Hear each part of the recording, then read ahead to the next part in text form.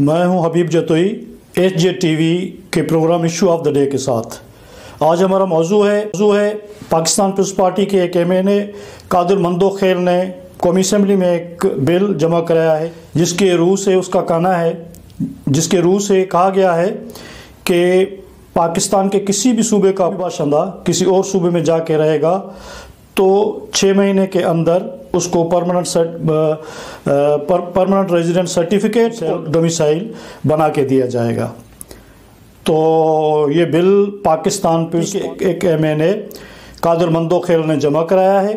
कौमी से कादर मंदो खेल एक पश्तून कराची के में रहने वाले एक पश्तून हैं और पीस पार्टी के एन ए दो सौ उनचास टू फोर नाइन से एम एन ए चुने गए हैं। इस बिल के रू से, ये बुनियादी तौर पे सबसे पहले तो हम ये समझते हैं कि अगर छः माह में सिंध में आने वाले हर बंदे को, हर बाशंदे को, फ्रंटियर से, पंजाब से, बलूचिस्तान से, कश्मीर से, गिलगत से, बल्तिस्तान से, हर जगह से जितने भी लोग आ रहे हैं, सिंध में आएँगे ज़ाहिर सारे। मैं इस पॉइंट पे फिर आ रहा हूँ कि वो क्यों सिंध में आएँगे। अगर छः महीने में हर बंदे को, हर बाशंदे को डोमिसाइल और परमानेंट सर्टिफिकेट दिया गया परमानेंट रेजिडेंशियल सर्टिफिकेट दिया गया तो छः साल के अंदर सिंधी जो सन ऑफ़ सॉयल्स हैं, इस धरती के बाशिंदे हैं, यहाँ के रहने वाले हैं असल यहाँ के रहने वाले हैं, वो मिनार्टी में तब्दील हो जाएँगे। ये सिंधियों का सबसे बड़ा खदशा है, ख़तरा है और एक ऐसा ख़तरा है जिसको वास्ट मेजॉरिटी ऑफ़ सिंधीज़ जो है वो परसीव करती है।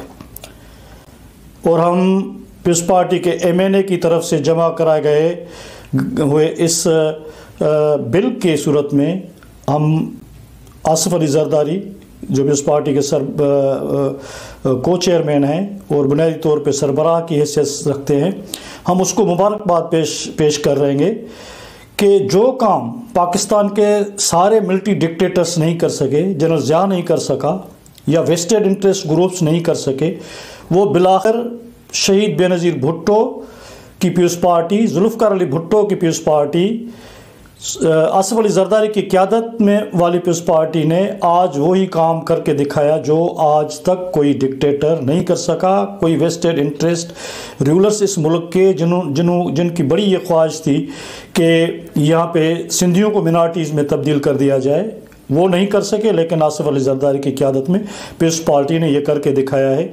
हम आसफ अली जरदारी को को मुबारकबाद पेश करते हैं। तो सबसे पहले सबसे पहले मैं मैं सिंधियों का ये खदशा क्यों है कि सिंध ही इस पाकिस्तान में ये तो सवाल उठेगा और बहुत सारे लोग ये सवाल करेंगे कि आखिर ये कानून तो, तो पूरे पाकिस्तान के लिए बनेगा। तो फिर सिर्फ़ सिंध के लोगों को ये कंसर्न क्यों है? सिंध के लोगों को ये ख़तरा क्यों है? तो एक सीधी सी बात है जो रियल हार्ड रियलिटी है जो ग्राउंड रियलिटी ये है कि बलूचिस्तान के अंदर बलूचिस्तान में तो ज़ाहिर है बलोच बलोच लोगों ने हथियार उठाए हुए हैं। तो वो तो वहाँ पे तो कोई जा नहीं रहा। गवादर में भी लोग नहीं जा रहे। दूसरी तो और बात है, लेकिन गवादर जो बहुत बड़ा एक इंटरनेशनल सी पोर्ट बनने के, बनने जा रहा है या जिसके ख्वाब देखे जा रहे हैं तो वहाँ पे भी लोग जाने को कतरा रहे हैं, नहीं जा रहे। तो बलूचिस्तान में लोगों के जाने का तो सवाल ही पैदा नहीं होता। और दूसरी तरफ़ खैबर पख्तूनख्वा है। पख्तूनख्वा में जंग चल रही है। बहुत दहाइयों से एक टेरर टेरर टेरर वार चल रही है। तो वहाँ से भी लोगों के लोगों के के जाने का सवाल नहीं है। जब वहाँ से पश्तून, अफ़गानी और दूसरे लोग जो हैं, वो सिंध में और ख़ास तौर पे सिंध के शहरों में, कराची, हैदराबाद और जामशोर और दूसरों शहरों में धड़ाधड़ आ रहे हैं और सैकड़ों की तादाद में रोज़ाना रोज़ाना की शक्ल में आ रहे हैं। तो और पंजाब में ज़ाहिर है, पंजाब के स्ट्रिक्ट कानून हैं। पंजाब में वहाँ पे जो दूसरे सूबों के लोग आ रहे हैं, वहाँ पे उनको परमानेंट सर्टिफिकेट नहीं दिया जा रहा डोमिसाइल दिया नहीं जा रहा। तो ज़ाहिर है, सारे लोगों की जो दौड़ है, वो वो सिंध की तरफ़ है और ख़ास तौर पे सिंध के शहरों की तरफ़ है। तो तो एक तो बात ये है। और दूसरा, अब तो ये कानून बन जा, बनने जा रहा है। और दूसरा ये इस तरह, ये हकीकत ये है, आप लोगों के सामने है, पूरे पाकिस्तान के लोगों के सामने है, बल्कि दुनिया के लोगों के सामने है कि सिंध में पाँच हज़ार रुपये में, दस हज़ार रुपये में पहले ही डोमिसाइल और पीआरसी सर्टिफिकेट बना दिया जाता है। और तो और सब लोगों को पता है कि एक अफ़गानी फॉरनर जो था फॉरेन नेशनल था अफ़गानी, वो कराची में एसपी लेवल लेवल का अफसर बन गया। और उसके बाद जब वो उसकी प्रेस में ये बात आई और उसकी सारी आइडेंटिटी क्लियर हो गई तो उसने फिर रिज़ाइन करके छोड़ दिया। बहुत सारे सर्टिफिकेट डोमिसाइल मतलब झूठे जो जो डोमिसाइल बनवाए गए अठारह अठारह उन्नीस उन्नीस ग्रेड के लोग पंजाब के खैर पख्तूनखा के दूसरे दूसरे सूबों से लोग आ, लोग आके यहाँ के डोमिसाइल बनवाते हैं और यहाँ के लोगों के यहाँ के लो, लोगों के नौकरियों पे कब्ज़ा करते हैं इलीगल तरीके से ये ये, ये पहले ही एक प्रैक्टिस है। आपको यह भी पता होगा कि एफ़ आई ए के एक डायरेक्टर ने कराची में बहुत बड़ी प्रेस कॉन्फ्रेंस कर डाली। उसने कहा कि कम अज़ कम तीस लाख से ज़्यादा फॉरेनर्स जो हैं उनको नादरा के एक ग्रोह ग्रोह को एक ग्रोह पकड़ा गया। एफ़ आई एफ़ आई ए ने वो ग्रोह पकड़ा। और वो अंडर ट्रायल हैं। वो वो ग्रोह अंडर ट्रायल है, जिन्होंने लाखों फॉरेनर्स को नेशनल आइडेंटिटी कार्ड बनवा के दिए और उसी एफ़ आई ए के अफसर के कहने के मुताबिक प्रेस कॉन्फ्रेंस के मुताबिक, न सिर्फ़ उनको शना उनमें आम फॉरेनर्स थे, लेकिन बहुत बड़ी दहशतगर्द ऑर्गेनाइजेशंस जैसे Al Qaeda T T P या दूसरे दूसरे दूसरे दहशत गर्द तंजीमों के लोग लो, लोगों ने शनाख्ती कार्ड बनवाए यहाँ से ट्रेवल किया और बाहरले मुल्कों में चले गए तो ये ये एक सिंध के साथ बहुत बड़ा मसला है कि यहाँ यहाँ पे एक लॉ एंड ऑर्डर सिचुएशन नहीं की, की एक बहुत बड़ी सिचुएशन है और उसका एक सबब बड़ा सबब जो है वो यहाँ पे शनाख्ती card domicile permanent resident certificate ये सारी चीज़ें एक वास्ट और एक डीप मतलब एक प्लानिंग के तहत लोगों को फॉरेनर्स को और मुख्तलफ़ सूबों के लोगों को बना के बना के दिए जाते हैं। और उसमें यहाँ का अमला मुलविस है। न सिर्फ़ अमला मुलविस है, सारी टू से जो वेस्टेड इंटरेस्ट ग्रुप हैं, वो भी इनक्रेज करते हैं और देखें अब अब हम कह रहे हैं कि वो लोग जिन्होंने लाखों फॉरेनर्स को शनाख्ती कार्ड बना के दे दिए और उनमें तो तो एफआईए के रिपोर्ट के मुताबिक, बल्कि पब्लिकली प्रेस कॉन्फ्रेंस के मुताबिक कि उनमें से हार्ड कोर टेररिस्ट भी थे जिनको शनाख्ती कार्ड बना के दिए गए और वो बाहर चले गए। या अभी तक यहाँ पे बहुत सारे ऐसे लोग हैं जो टेररिस्ट एक्टिविटीज़ में मुलविस हैं और वो फॉरेनर्स हैं। उन सबको उन उन सबको शनाख्ती कार्ड बना के दे दिए गए। लेकिन उन सब के ख़िलाफ़, उन सब के केसेस कहाँ चले जाते हैं? मैं दावा के साथ कहता हूँ, पूरे पाकिस्तान के लोगों से कहता हूँ, इंसाफ पसंद जितनी भी कम्युनिटीज़ हैं, जितने जितने भी लोग हैं, उन सबसे ये अर्ज़ करता हूँ और चैलेंज करता हूँ सबको कि इतने बड़े हीनियस क्राइम्स में मुलवस, जिनने टेररिस्ट को फॉरेनर्स को पाकिस्तान के कॉन्स्टिट्यूशन के ख़िलाफ़ गैर मुल्कियों को शनाख्ती कार्ड बना के दे दिए। कोई एक भी कन्विक्टेड आप मुलजिम हमें बता दें। कोई एक जो झूठे डोमिसाइल और पीआरसी बनाए गए हैं, लाखों की तादाद में, उनका कोई कोई कन्विक्ट हो, कोई किसी को सज़ा मिली हो, किसी जुर्म में नहीं मिली है सज़ा। किसी को सज़ा नहीं मिलती है। और एक साइलेंट एक साइलेंट क्राइम है। यहाँ के लोगों के ख़िलाफ़ एक साइलेंट क्राइम है तो वो जारी है। और, सिंध के लोगों के लिए ये कहा जाता है कि सिंध के लोग जो हैं वो तंग नज़र हैं या कौम परस्त हैं। लेकिन लेकिन मैं कहता हूँ कि सिंध के लोगों ने तो बेचारों ने इस मुल्क के लिए, पाकिस्तान के लिए क्या नहीं दिया? सबसे पहले इस पाकिस्तान में सबसे पहले सिंध असम्बली ने पाकिस्तान के हक में करारदाद पास की। अपना कैपिटल पाकिस्तान को दिया। अपना कैपिटल कराची, पाकिस्तान को दिया, जहाँ पे पहला पाकिस्तान का कैपिटल जिन्ना साहब की गवर्नमेंट जो थी, वो वो यहाँ पे मुकम हुई।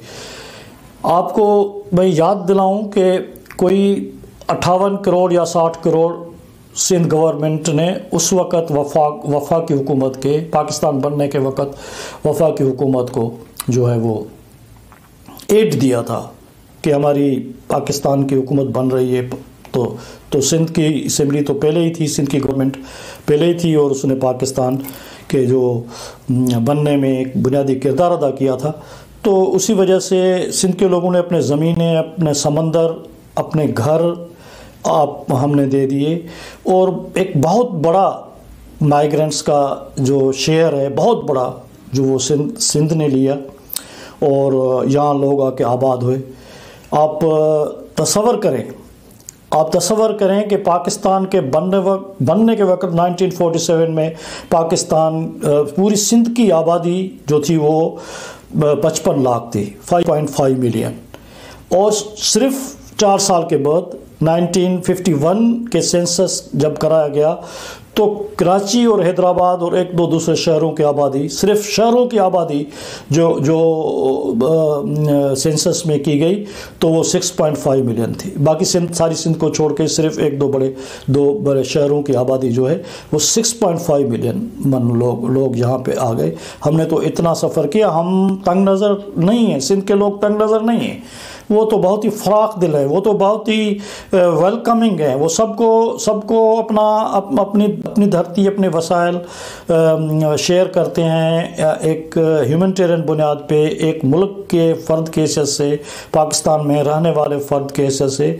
लेकिन इस मुल्क के जो एलिट हैं जो रूलिंग सर्कल्स हैं जो रूलिंग हुक्मरान हैं उन्होंने उनका रवैया हमेशा ठीक नहीं रहा। और आज ये सूरत हाल बन गई है कि पाकिस्तान पीपल्स पार्टी का एक एमएनए पाकिस्तान पीपल्स पार्टी जो आज तक आज तक सिंध के वोटों पे प्राइमरली मेनली सिंध के वोटों पे हुकूमत करती रही है और आ, आज जरदारी साहब की के सरबराही में मतलब उनकी क़्यादत में, पीस पार्टी की सिंध में तीसरी गवर्नमेंट है, जो चल रही है। सिंध के लोगों के वोटों, न सिर्फ़ वोट सिंध के लोगों ने पीस पार्टी को दिए हैं, लेकिन पीस पार्टी के के लिए, उनकी क्यादत के लिए सिंध के लोगों ने बहुत बड़ी कुर्बानी दी हैं। कोड़े बर्दाश्त किए हैं, जेलें काटी हैं, एम तहरीक चलाई है। और बहुत बड़ा अरसा 1977 से जनरल ज़िया के मिलिट्री डिक्टेटरशिप से लेकर आज तक विजिबल और अनविजिबल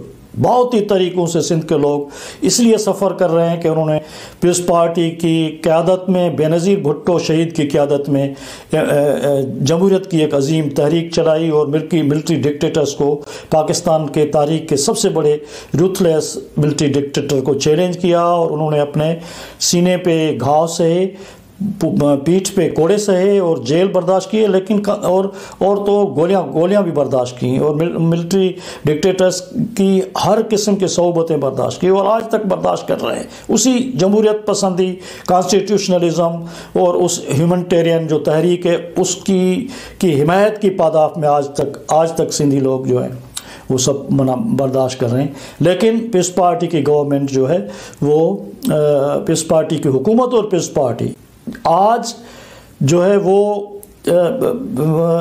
सिंध के लोगों के मफादात के ख़िलाफ़ जो है वो वो कराची में कराची का एम एन ए कैपिटल है सिंध का वहाँ का एम एन ए जो है वो आ, ये बिल सिंध में वो असम्बली कौमी असम्बली में पेश कर रहा है कि छः महीने जो भी रहेगा उसको हम डोमिसाइल दे देंगे। सिंधी में हम कहते हैं पली जो मोहतरम रसूल पलियो साहब हमारे बहुत बड़े लीडर होते थे वो अक्सर तकीर में कहा करते के कर, कहा करते थे कि सिंधी ज़बान की एक कहावत है कि बाबे के घर मेहमान पाण के परवाही कोने को। मेरे बाप के घर मेहमान आए हुए हैं, मुझे क्या परवाह है? वो मेरा बाप खिलाएगा, पिलाएगा खर्च खर्चा वो करेगा सर्विस वो देगा, मुझे क्या परवाह है? तो सिंध के सिंध के वसाइल पे, सिंध की ज़मीनों पे, सिंध के वो वोटर्स पे और सिंध की सारी चीज़ों पे कादिर मंदो खेल की तरफ़ से हम ये कादिर मंदो खेल की मुँह नहीं समझ रहे। हम ये समझ रहे हैं कि पीपल्स पार्टी अपने वेस्टेड इंटरेस्ट में। पीपल्स पार्टी सिंध के अंदर जो पढ़े लिखे लोग हैं, ये आज खुलम खुला कर रहे हैं कि क्योंकि जरदारी साहब को अपने बेटे को वज़ी अजम बनवाने, बनवाना है। तो इसी वजह से वो हर वो काम कर रहा है, जो जो गंदा काम, जो सिंध के ख़िलाफ़ है, सिंध के मफादात के ख़िलाफ़ है, वो जरदारी करने के लिए के लिए तैयार है। और सिंध के लोग बहुत दुखी हैं कि आज बेनज़ीर भुट्टो शहीद की पार्टी जुल्फ़ार भुट्टो की पार्टी उनके मफादात के ख़िलाफ़ काम कर रही है। न सिर्फ़ ये कि कौमी असम्बली में डोमिसाइल और पी आर सी का बिल पेश किया गया है, उसके उसके अलावा उसके अलावा कौमी असम्बली में पीस पार्टी और नवाज़ लीग की हुकूमत ने मिल के वहाँ पर पाकिस्तान के अंदर दूसरे सूबे बनाने की एक एक बिल पेश किया और खामोशी से बिल पेश किया। ना उस पर कोई डिस्कशन किया गया, ना ही उस पर कोई बहस हुआ और खामोशी से उसको साजशाना तरीके से चुप चुप खामोशी से विद साइलेंस क्रिमिनल साइलेंस के साथ उसको पास करा करा के किया गया। और न सिर्फ़ वहाँ से कौमी असम्बली बिल पेश किया, पास किया गया, लेकिन उसको अमली जामा पहनाने के लिए एक गहरी साजिश के साथ, एक गहरी साजिश के लिए सिंध असम्बली से भी एक करारदाद पास की गई है कि वफाक को जो जो जो वफाक के इंटरेस्ट है वफाक के मामला हैं उसमें अगर वो का, वो कोई कानून में तरमीम करना चाहता है और 1973 के कॉन्स्टिट्यूशन में का तरमीम करना चाहता है तो सिंध असम्बली ने एक करारदाद पास करके उसको मंजूरी दे दी है और उसके बाद कौमी असम्बली में एक कमेटी बनाई गई है जिसमें खुर्शीद शाह को सिंध के एम को सिंध के वोटों से अयाशियाँ करने वाले वो खुर्शीद शाह जो सारी दुनिया को पता है कि जनरल जा के दौर में या उससे उससे पहले एक meter reader, Sui Southern Gas में एक मीटर रीडर तौर पे काम करता था। आज हज़ारों एकड़ ज़मीन का मालिक है। अरबों रुपए, अरबों रुपये उसके, के उसके असेट्स हैं। और उसके नेब के केस भी भुगत रहे हैं। लेकिन उसी खुर्शीद शाह को पाकिस्तान में सूबो बनाने के लिए उस कमेटी का चेयरमैन बनाया बनाया गया है। सिंध के लोग इस पर भी दुखी हैं। और वो सारा गंद जैसे सिंधी में हम कहते हैं कि गंद भंगी से उठवाया जाता है, इसी वजह से खुर्शीद शाह वो गंदा काम करने के लिए तैयार हो गया है। मैं एक और वीडियो बनाऊँगा, जिसमें सूबे सिंध में, बल्कि पाकिस्तान के नाम पे सिंध को सूबा बनाने के लिए, सूबा सूबा बनाने के लिए, सिंध में नए सूबे बनाने के लिए ये एक गहरी साजिश है और बहुत पुरानी साजिश है और जनरल ज़िया के दौर से बनी हुई साजिश है, जिसमें अल्ताफ़ हुसैन प्रोजेक्ट को बनाया गया। उस पर मैं अलग से एक वीडियो बनाऊँगा, लेकिन आज की मेरी वीडियो जो है इसी पे है कि डोमिसाइल के नए बिल के पेश करने के लिए सिंध उसके बिल्कुल ख़िलाफ़ है। सिंध, पूरा सिंध इसके लिए इसके लिए ख़िलाफ़ है। पीपल्स पार्टी की इस मूव से कि उस उस, उससे सिंध मिराटी में तब्दील हो जाएगी, हो जाएगा। और मैं अभी 1917 जो उन्नीस उन्नीस सौ जो जो 2017 में, जो 2017 के सेंसस के नतज आए हैं तो मैं उनके अभी पूरे जो फैक्ट्स एंड फिगर हैं फिगर हैं आपके सामने रखूँगा, जिसमें पाकिस्तान के लोग और पूरी दुनिया के लोग ये समझने के काबिल हो जाएँगे कि सिंधी क्यों इतना परेशान है और इस मसले को इतनी सेंसिटिव तरीके से वो क्यों देखते हैं।